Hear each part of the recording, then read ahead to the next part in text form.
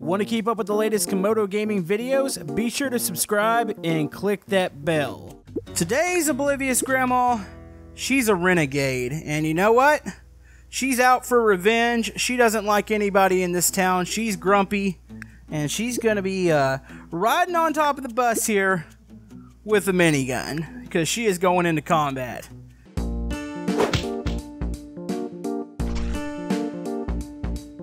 YouTube, Camodo Gaming here, bringing you guys another episode of Tiny Town VR, and yes folks, we are back once again, and today is the final for the zombies. Now, I was debating on doing the final today. I know some people want to see some new disasters, but I figured let's go ahead and do one more episode. That way I can finish up this area and then call it a day for the zombies for the time being. That way we can move on to bigger and more awesome disasters.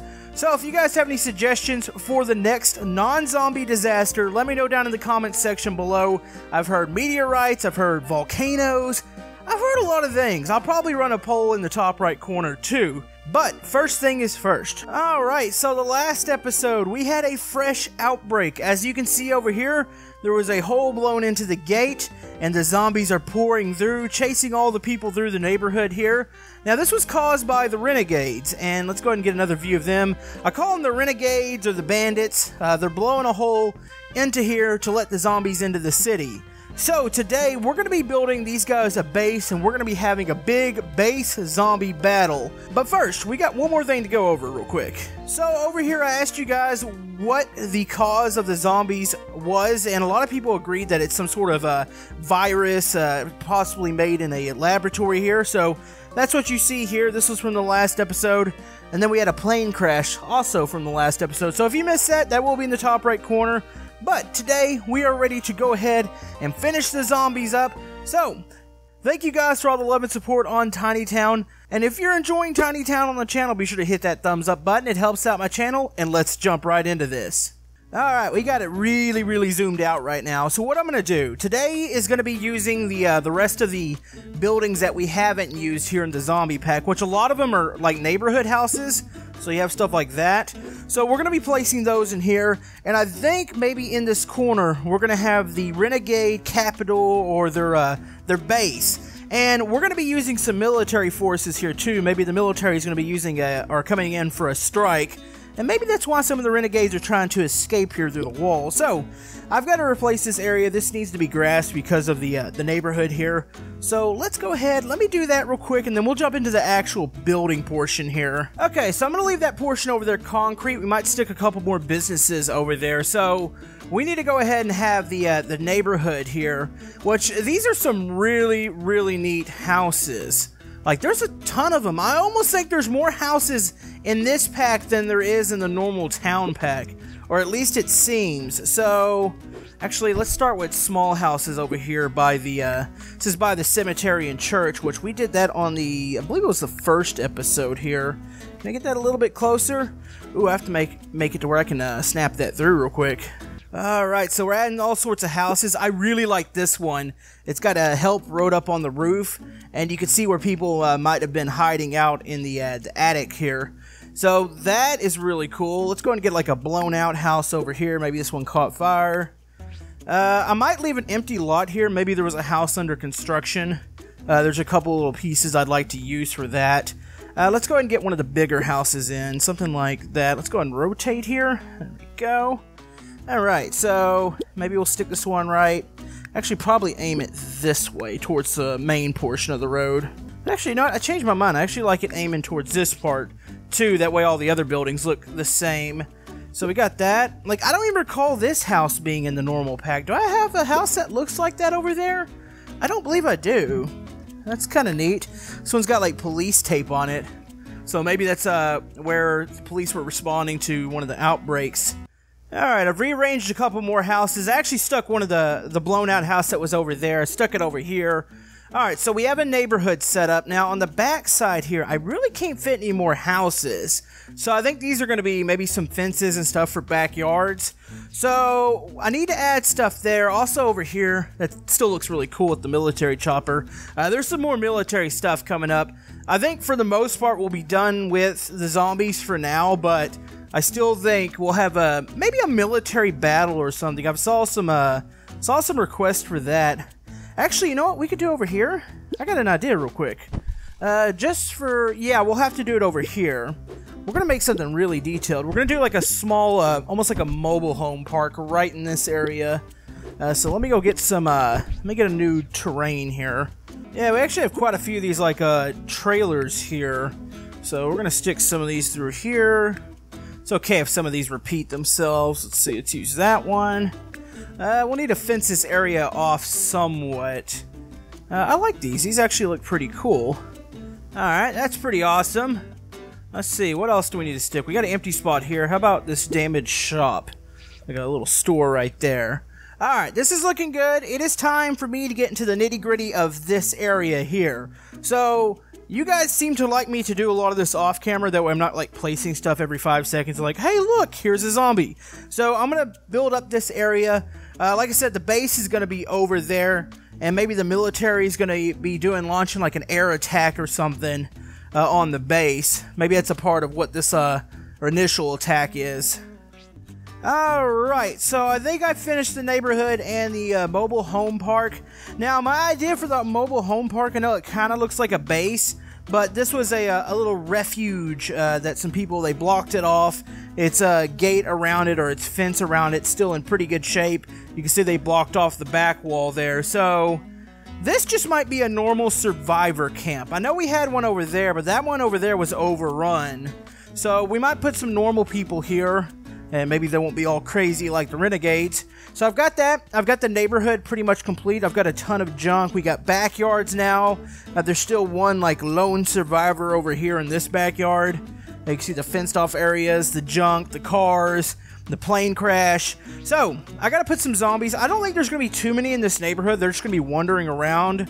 Uh, maybe we'll put some up against the gate here, trying to get into the refuge camp. And maybe, I don't know, we're gonna have to do something with that back street. That's where the renegades were coming through. Alright, so we have the refuge area. So we're gonna kind of go on a little tour of this. Uh, they got a nice little area in here. They're kind of self-sustaining. So you can see the people uh, that are guarding the street. They see the chaos that's happening down there. Uh, this guy up here with the sniper rifle, he's actually got a really good view of the neighborhood and the wall. And they're probably thinking, why aren't we allowed on that side of the wall? This is crazy.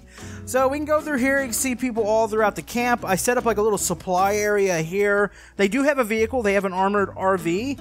Uh, kind of like the Renegades, except for they're not using this for evil. Maybe they're going to plan an escape one day. So you can go through here. You can see other people just standing around. Uh, camps are set up. All the homes are kind of they're somewhat decayed, but it looks like they're somewhat maintained too, unlike the rest of the neighborhood here. So, pretty cool setup there. You can see throughout the neighborhood, I've got zombies spread out, uh, more debris. Uh, you can see some more zombies through here. You got the lone survivor back here, and you got the zombies trying to come up, maybe starting to bang on his fence here. More down the street. So, overall, pretty happy with how we filled this out. So now comes the base. The base is going to be right here. It's going to be kind of long. It's not going to be very wide. So this is going to be the Renegades headquarters.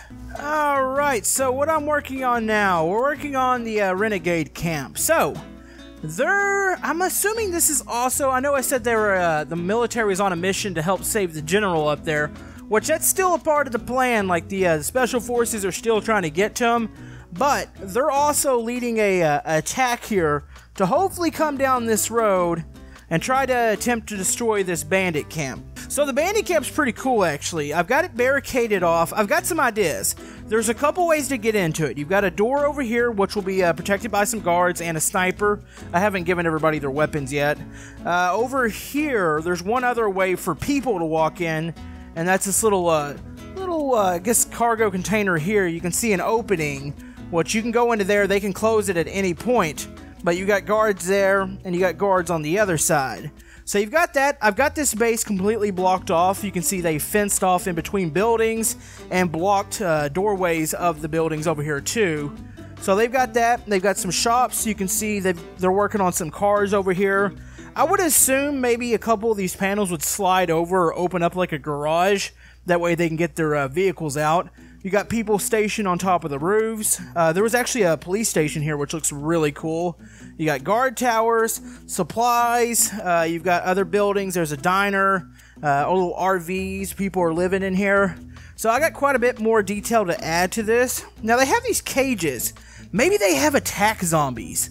That could be cool. So let's grab a couple of zombies. Uh, let's grab this prisoner one, make him look like he's just angry, like he's trying to get out of the cage. Turn off snapping and stick them in there. There we go.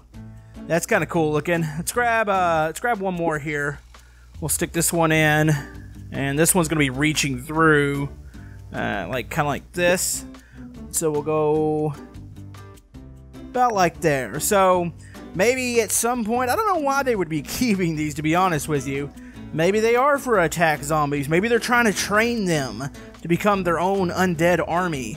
Maybe that's kind of what's going on over there with the outbreak. I'm not really sure. So, gotta add some more details here. Everybody's got to get some guns and stuff like that, some supplies. I'm gonna dirty up the area some more, and then we're gonna have an aerial attack coming in from the military.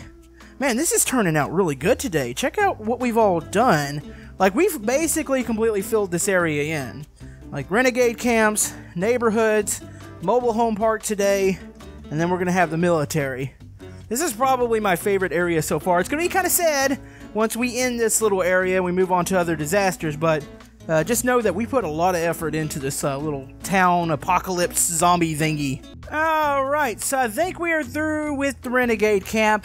I did add uh, something I didn't point out to you guys. I added more uh, reinforcements for the renegades that are coming up the road uh, getting ready to break through with the rest of the zombies. So we've got that. I've uh, placed weapons in everybody's hands. I've added some zombies. There's quite a few down zombies here because the uh, the renegades are trying to keep them off the walls. Your uh, rifle's a little bit. There we go. Looks a little bit better. So you got that. We got one zombie actually ran into one of the spikes here. Uh, you can see him downed up the road here. This one looks a little awkward. That needs to go down just a bit more. There we go. Place him down there. Alright, so I think for the most part, the Renegade camp is through. Now, unfortunately for the Renegades, uh, the army is on the way. They're launching an airstrike, and it's about to get messy for them. But it's kind of like a big chaotic battle. Like everything that's happening. Of course, the uh, the zombies or the renegades are trying to break through as the military's attacking. It's just like the perfect storm, the perfect timing here. So I guess one of the last things we need to add is some more military presence. So let's go military. Uh, the cavalry is going to be coming in, and it's not going to be pretty here. So I'm thinking, let's see scaling wise. I always have to rescale these things. Uh, let's go up here. Okay, what is the scaling from U to U? Okay, so the chopper is definitely small, so need to scale some of these.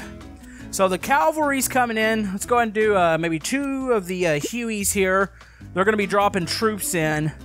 But also, they're going to be getting bombed over here. So, don't want to do it. You know, we're going to do it by jet this time, which oddly enough, they're still separate here. So you go to airport in order to get to the military jets, which is admittedly a little bit odd.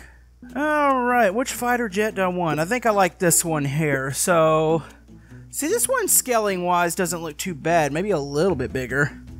Alright, it's going to be coming through. It's going to be doing a low pass here. And even though it's still got some of its rockets, I'm going to have some firing off. Actually, it looks like it's going to crash into the house here. This looks epic. It looks like some epic military charge here. Okay, so let's go back to military. They should have us some uh, missiles here. Uh, I gotta find them. There they are. Beautiful. What's the difference between that one and that one? They look exactly the same. Those are the ones that are equipped on this uh, plane. You know what? Maybe they had some smaller ones here. Alright, so let's go. Missiles are coming in. Oh, that is epic looking. Okay, you got that one. Say they had shot another one, was tracking through. The impacts haven't been made here. Maybe we'll do another explosion over there. I don't know. They're trying to make probably take out a couple of these buildings, get some of these people off the roof here. That's cool. Oh, I forgot to use the little machine gun mount. Hey, maybe this will be their uh, AA. Yeah, we got this guy. He's trying to defend, but he knows everything's about to go wrong. Uh, that missile's a little catty wampus. Let's fix that. So yeah, you've got that coming. The military's on their way. I guess we could do, um, maybe it wouldn't make sense to have the military already here. Would say maybe we will do some uh, special forces rappelling down, but I think we'll save stuff like that for an actual military scene and not a zombie apocalypse scene. So, we got quite a bit done here today. It's a battle raging on. Who do you think's going to win, the military or the renegades? I've got my money on the military because, I mean, they've got missiles and, and planes. Uh, Renegade's got some uh, armored vehicles that probably aren't going to stand up. So, one more time, let's go ahead and zoom out. We're going to go over one last tour of the zombie area. So, because this is a zombie final, we'll start here. Uh, let's go and zoom in. This is where the, uh, the new outbreak's happening. We're going to cruise up the side. Renegades are breaking through. Convoys coming through. Of course, we just went over the Renegade base, so we'll skip that. You've got the neighborhood. You've got the extremely low flyover here. That looks pretty cool. You've got the, uh, of course, the new little area we did here with a refuge camp. Maybe they're going to be saved once the uh, the military gets in here. And then, of course, we go into here. This guy's in the middle of the air. I think I was taking a screenshot. Huh. There he goes.